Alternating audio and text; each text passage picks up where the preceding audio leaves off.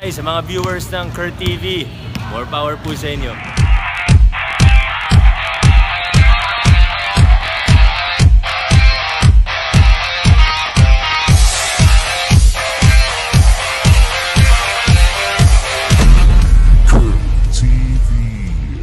Magandang umaga, happy Monday, happy new week po sa ating lahat. Kamusta po kayo?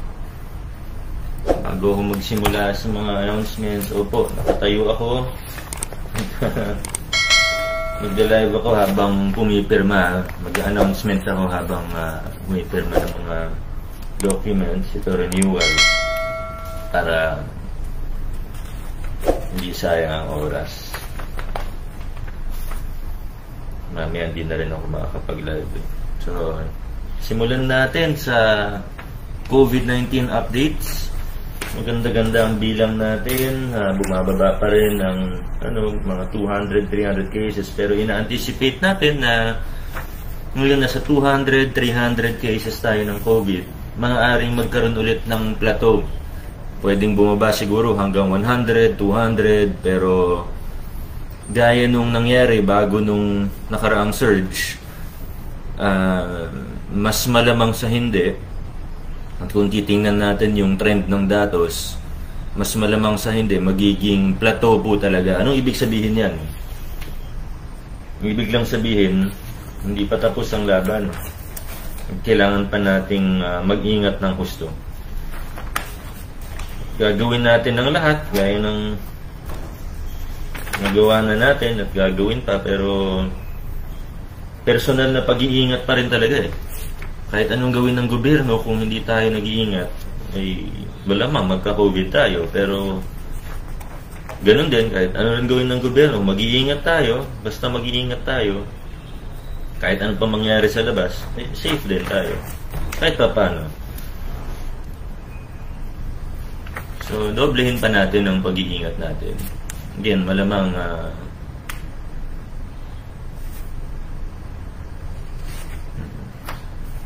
Yung nagtatanong tungkol sa scholarship, dumiretso na po kayo sa office or tawagan niyo po sila. Kasi karamihan na ma- maayos na naman eh. Malamang sa paymayan niyo yung may problema. So, ah, magpapagador po kayo. May, may announcements naman po. Nakita ko yung announcement nila. Ma maayos naman. Ngayon, ah, okay, so balik tayo sa COVID. Ano, vaccination, good news ah, lampas na tayo dun sa 200,000 job mark. Nasa mga 205,000 na tayo ngayon. Ah, karamihan yan ay first dose pero mga ang second dose natin nasa mga 50 plus thousand na rin. So magandang magandang ah, balita po yan. Nalilimit lang tayo dun sa supply ano. Um, wala naman tayong magawa kung kung hindi dumarating sa Pilipinas yung ganun karami pang supply. Pero, isipin nyo ngayon, kumpara sa 2 months ago, mas marami ngayon. Pumapalo tayo ng 6,000 vaccinations in one day. Pero ang problema, pagka nauubos na yung supply, magsasara na naman tayo ng vaccination site. So hindi rin tayo makapagbukas ng marami talagang sites ano kasi na uh, uh, masyado mabilis mauubos. Eh. Ngayon, para sa mga Sinovac na for second dose, today meron tayong 3,000 doses. Pero advice ko po sa inyo, at nakausap na rin naman namin yung mga tao sa ground, ano, na kailangan antayin natin yung text.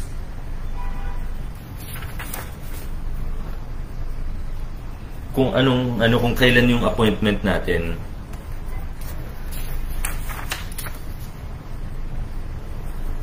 Kasi kung mag-walk-in tayo, eh, kung wala pa, hindi pa dumating, wala tayong magagawa. Ang instruction sa amin ng national, yung hawak namin noon for first dose, ubusin na daw. So, instruction yan, hindi yan request, ano? Instruction yan.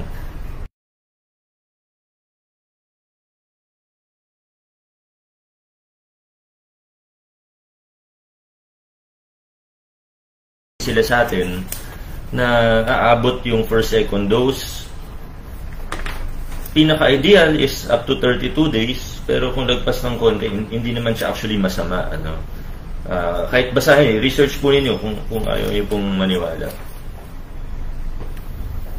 So, konting uh, pasensya lang, uh, wala tayong magagawa ano kung uh, hindi pa siya dumarating.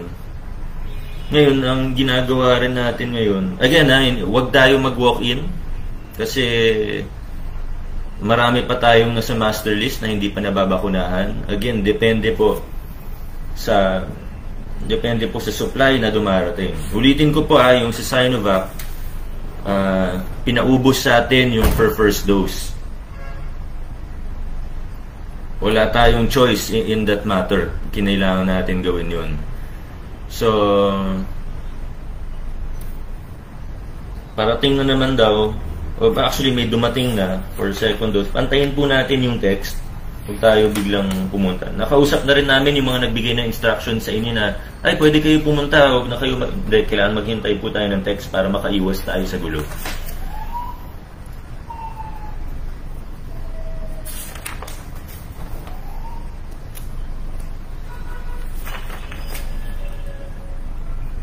Nagpa-text na rin ako through Infocast para dun sa mga hindi pa makakuha ng schedule na masabihan lang na mag mag-antay tayo. Antayin natin yung uh, text for appointment. Antayin lang natin. Ngayon, uh, sa Pasig Pass naman, na-integrate na rin po natin yung sa Taytay. Uh, so welcome sa mga taga-Taytay Kasama na po kayo sa consortium natin with Valenzuela, panguna ng Valenzuela, uh, ng Antipolo, ng Mandaluyong.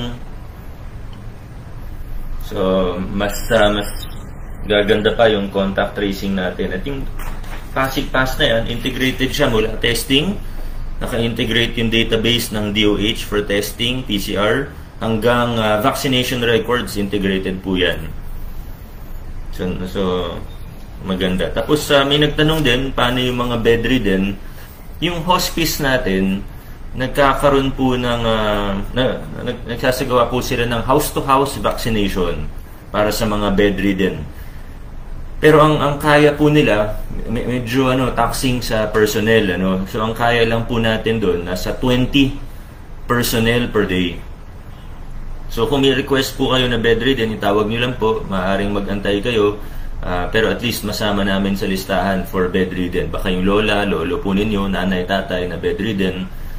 Um, 20 per day. So yung yung nasa list ng beneficiaries ng hospice, actually paubos na kasi mga 4 to 500 ang beneficiaries ng hospice. Eh. Yun yung regular beneficiaries ng hospice. Yan po yung mga pinapadalhan ng gamot, diapers, uh, sa mga bahay nila.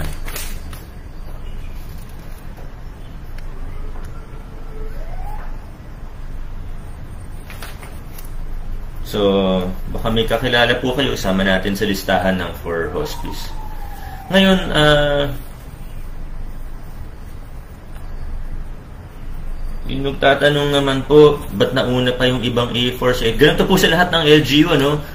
Uh, hanggang A4, simultaneous tayo. Sa totoo, meron nga pong bakuna na hindi pwede sa A4 uh, ah, dahil uh, galing pong COVAX facility.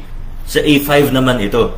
No? So, simultaneous nga po ano so alam ko medyo magulo siguro pero importante uh, vaccinate tayo ng vaccinate yun lang ang pinaka-importante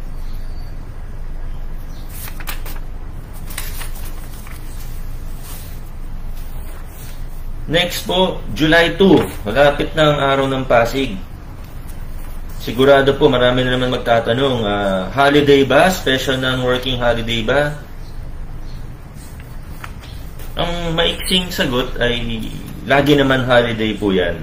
Pero nagaantay tayo ng official declaration mula sa Malacanang na usually dumarating yan mga July 1 or June 30, earliest siguro June 29. Uh, usually ganun naman sa experience natin ano. So pero uh, usually wala naman taon na hindi na declare yan na holiday at nagsulat na rin po tayo sa Malacanang So may mga events tayo, pero alam nyo naman, hindi pa rin talaga pwede yung malakihang event gaya ng concert o ano.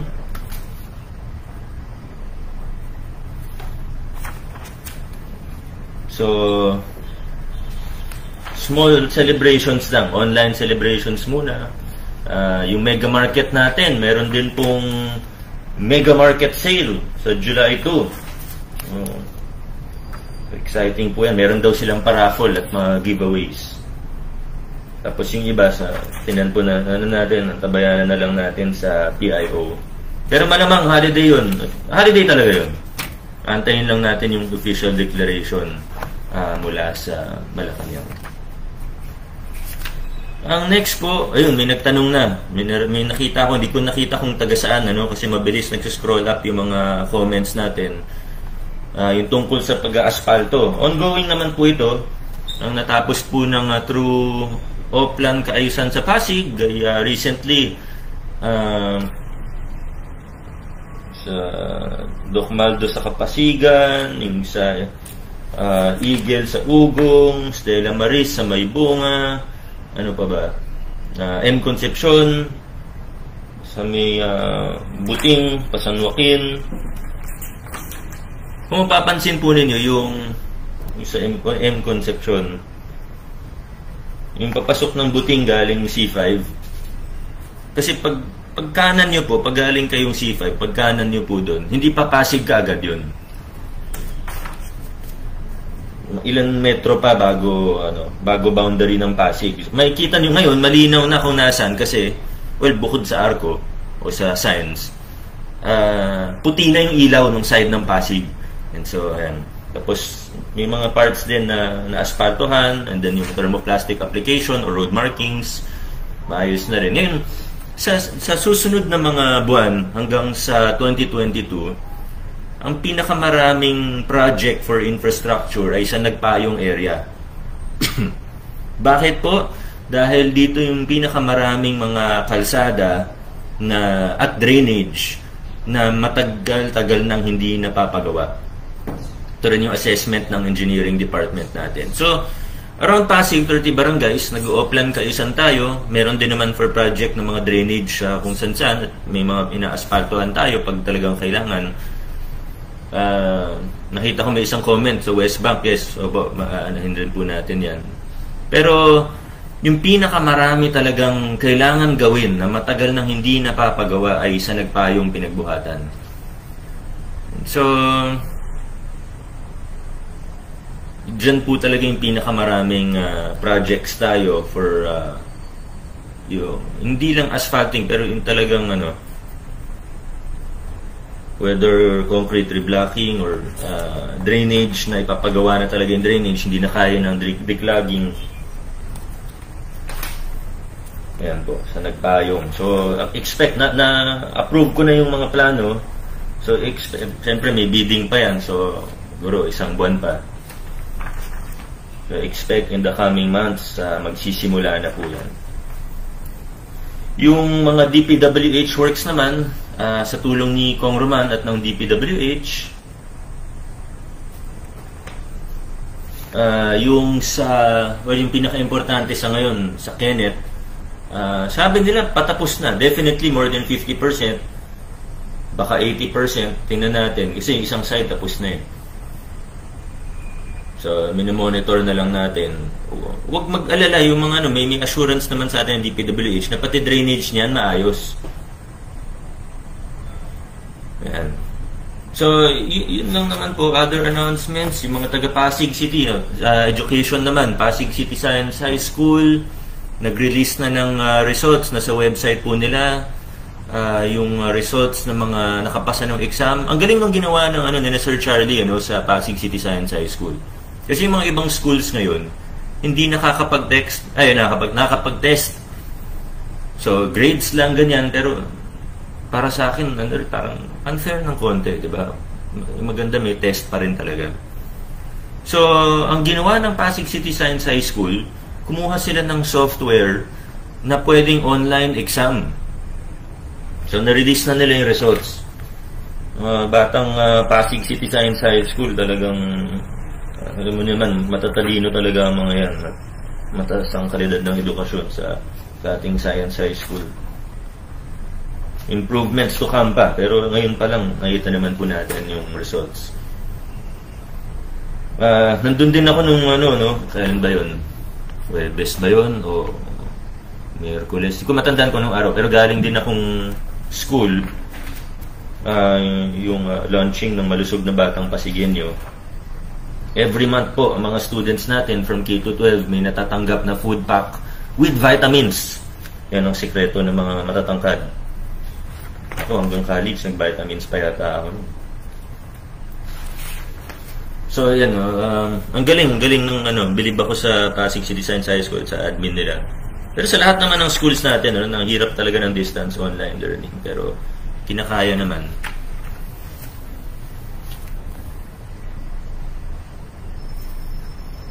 Yan. So, ano pa bang mga katanungan po natin o gusto nating uh, announcement? Marami pa akong pwedeng sabihin, ano, pero yun naman yung pinaka-importante sa ngayon. Uh, speak of infrastructure, yung mga repairs natin sa mga bridges, ongoing din po yan. Uh, ano pa ba?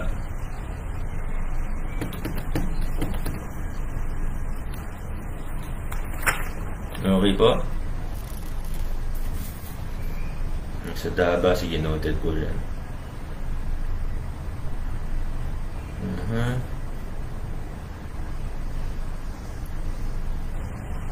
Salamat sa mga nagre-reply ha. Nakikita ko po si uh, si Van Copa tumutulong mag-reply dun sa mga ano sa mga nagtatanong. Thank you. Tama po yung sagot ni ano ni Van Copa. Thank you, thank you. Hindi ko rin naman talaga kaya sagutin lahat ng comment ano pero yan po.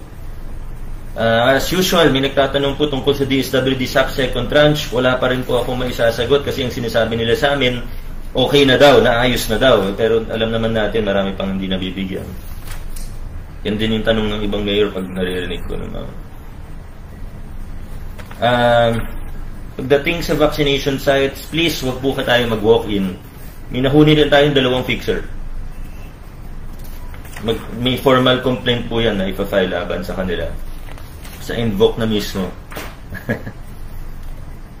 o, bahala na sila kung ano mga good luck na lang sa kanila. Hindi naman tayo papayag ng ganun, di ba? Nakapila ng maayos mga tao, ang tagal nag-aantay ng schedule, tapos magpapasingit kayo ng ganun-ganun lang, tapos pagkakakitaan nyo pa. Hindi pwede yun. May dalawa na tayong nahuli. Pero alam ko meron pa. Good luck sa inyo pag nahuli ko kayo. Yan. So,